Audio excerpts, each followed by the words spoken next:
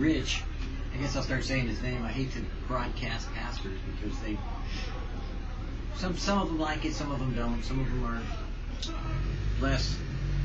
I don't. It's just I don't call pastors like pastor so and so. I just call them their name because to me they're just bros. You know, they're just people that just like you and I. But anyways, Rich last night was teaching and. Uh, I really enjoyed one of the things that he was saying. Well, I enjoyed all of it, first of all. You know, it's kind of unusual because I don't often enjoy everything that a pastor has to say, but since I've been going to this church, oh, I don't know, maybe nine meetings now or something, nine nine times, you know, at least for a month and a half, you know, going Sundays and then going Sundays and Wednesdays. You know, there's nothing I disagree with. I mean, that's unusual because, you know, anybody that knows me knows I can find something wrong with everybody. Now, I don't mean the person. I meant with teachings. You know, a lot of times people will choose to risk it or stick their neck out in scripture someplace, and believe me, I'll chop it off.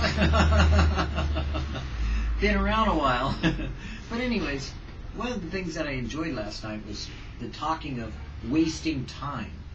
You know, was that we were talking about from the book of Revelation about who was and is and is to come and how God exists, you know, and where he is and how he is, the way he is, and such as he is, and that before time and through time and by time, and he created time, so obviously exists outside of time, and as such we exist inside of time because we were created in time.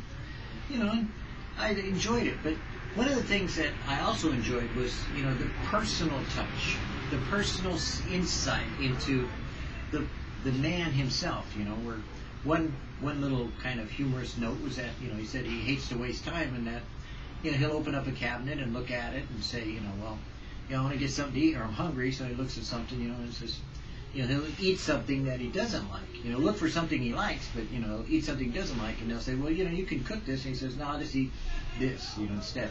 And it's so typical of most of men, and me, you know, especially, yeah, you know, I'll look inside, you know, go, eh, you know, eat that instead. And if I can't eat something, I know how to cook, you know, so I'll cook something up, you know. But my first reaction is if I look in the, the, the pantry, you know, so to speak, or the closet or the cabinet, wherever you keep your food, then I'll look for something to eat that I can snack on, you know, not just snack, and I'll eat it. You know, I see it, I eat it.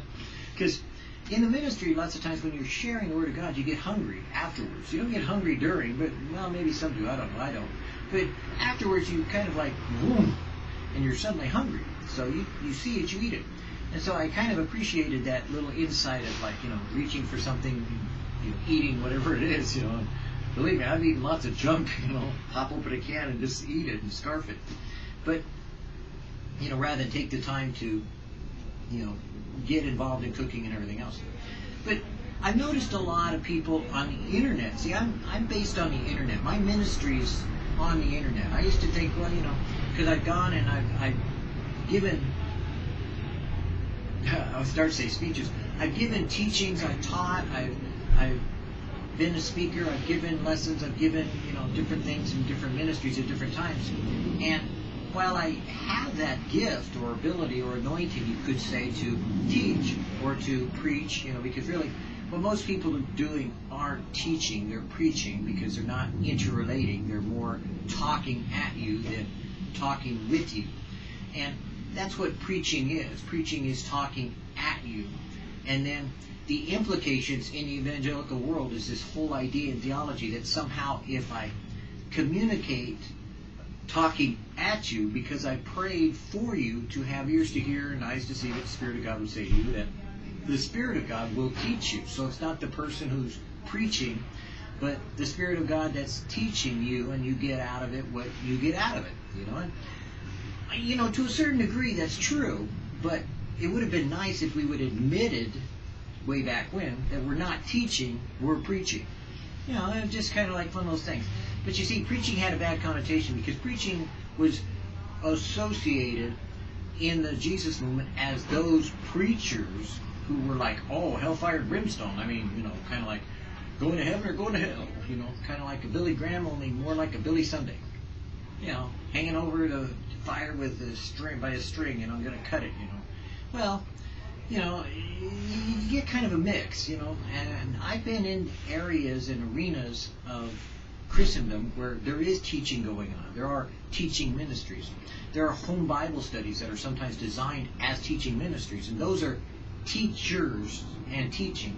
Giving a lecture is not teaching, in my personal opinion. Now, I know Western civilization and Western culture has the oratorium, you know, of this idea of propagating the lectern and the lecture as being the recipient of somehow knowledge without there being interaction. Well, you know, that's Western culture. You know, I study some Eastern culture, kind of like the Jewish way, kind of like you interrelate, but that's the way it is. So, I've noticed that on the internet, especially with a lot of people that are already saved, they want to waste time rather than make time. You know, I like to make time profitable. I like to bear fruit. I like to see things that are going to last, that are going to accomplish something. I don't like to waste my time. In other words, I don't like to just, you know, babble for the sake of babbling. I don't sit down and say, oh, well, you know what? I think I'll just, you know, walk out there, you know, and flip on a camera and I'll just start babbling about whatever, you know. You know, me personally, that's a waste of my time. You know, I have more important things to do with my time, I feel, than to spend it wasting time battling. I'd rather, you know, investigate what God has to say to me and get to know Him in a more personal, intimate way and to relate to Him in my day to see what He has in store for me each and every day as I live my life out by examining those things that are around me, the circumstances, the creative process that God has created the world and the universe in, and then also those things with which God is able to arrange the circumstances of my life to bring about a revelation of Himself. So I'm looking forward to using the time profitably to redeem the time specifically so that it's used for a directional purpose as opposed to a objectionable, questionable rationale. And a lot of people, unfortunately, that I'm running into lately really want to distract rather than attract, you know, any type of response to what they're saying or what they're doing. They just want to babble. They just want to, you know, kind of like just shoot it off, talk about it, and, you know, maybe even be in error or in worse than that, mislead people by what they're saying or what they're posting or what they're revealing or sometimes, sadly, what they're commenting on and discussing on a regular basis over and over again, kind of repeating the same mistakes of just wasting time, really. And you know, I admit there's a certain amount of what we call fellowship that goes on, you know, and some people, you know, they need the superficial conversation in order to get to the heart of their matters, or sometimes they communicate on superficial levels. I don't.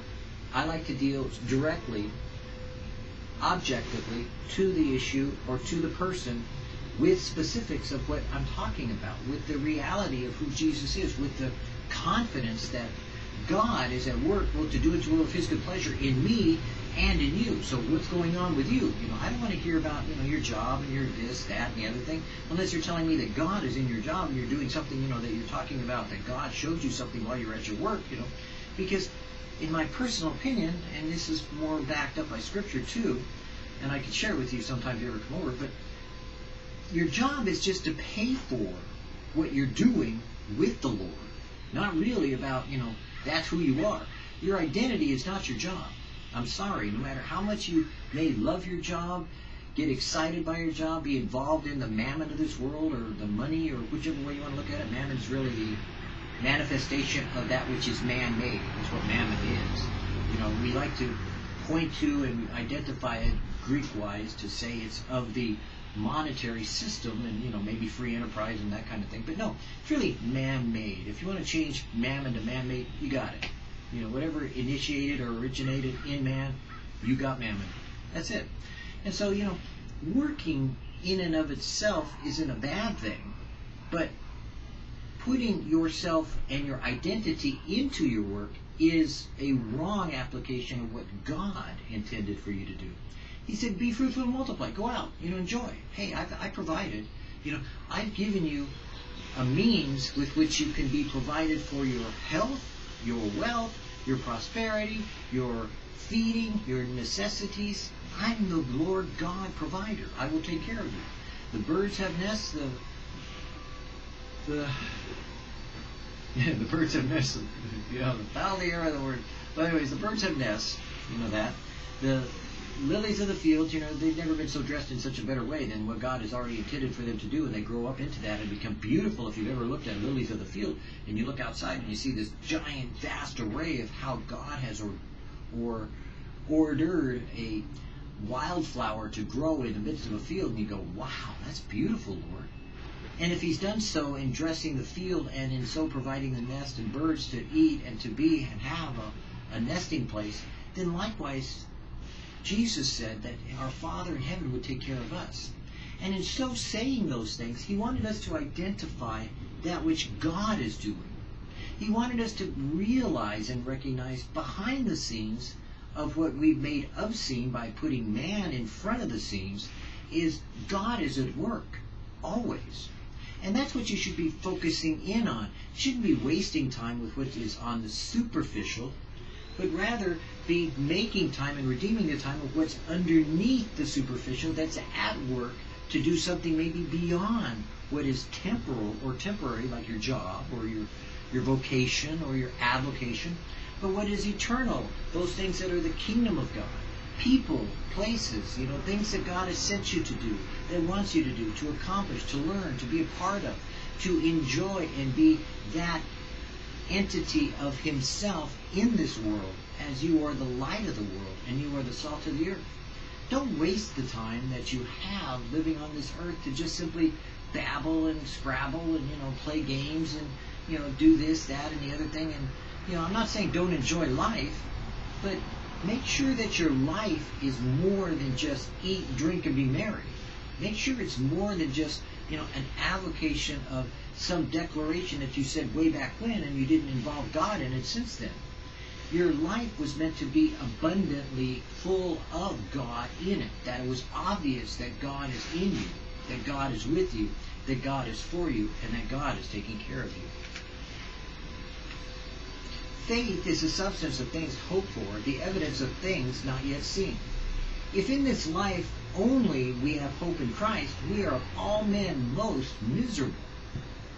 Eye has not seen, nor ear heard, neither has it entered into the heart of man, the things which God has prepared for them that love him. But God hath revealed them unto us by his Spirit. After that you have received after that you believed, you were sealed with the Holy Spirit of promise, which is the earnest of our inheritance until the redemption of the purchased possession. You. Jesus saith unto him, Thomas, because you have seen me, you believe. Blessed are they that have not seen, yet have believed. Whom having not yet seen, you love.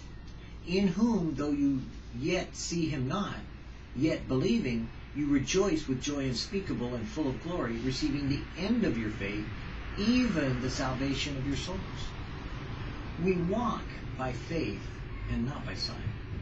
Cast not away, therefore, your confidence, which has great recompense of reward. At times, in times, when I do the work of the ministry on the internet, you know, I take the time to investigate, to relate, to see that which is being posted. A person will post some statement or some false picture or some false teaching. And I'll go to their website, you know, and I'll go to their, their profile page, if it's Facebook or whatever it may be, and I'll, I'll look behind the scenes of what, what are they really talking about? What are they really relating about? How are they, how are they presenting Jesus? You know, what are they really talking to and addressing? I mean, is this something that needs to be commented on? Is this something that needs to be stated because people are reading this? Thousands of people are reading this? You know, even in the possibility that there might be millions reading it? I look at it as being, hey, you know, if that's what I'm called to do, then I should follow through with what God has told me to do. And that's what I choose to do on the internet ministry that I have. I don't just record videos and post them and, you know, record or to post um, aggregate ministry devotionals from a bunch of different ministries. Aggregate means to put them all together and present them, and to give them to people and to you know highlight them in such a way that the people are paying attention to them and reading them. But I also comment, you know, the, the third part of that ministry of what God has given me to do in the name of the Father, the Son, and the Spirit. The Spirit of God causing truth to be made manifest. That when I see things that are wrong, I just state false. If a person wants to comment farther, I'll explain to them why it's false. But I want the reader to know that, hey, this is not truth. This is not accurate. This is something that's been rearranged, changed, or in some way false because I did do the research. I did look it up. I have followed up. I do this daily. And I spend the time, the quality time to pray about, to walk forward with, and to allow the Holy Spirit to give me the words to say and to follow through with what they are. Sometimes they may not be the best choices that I may make, but at most opportune times, people are touched by the fact that the reality of what they may not have known is now made known.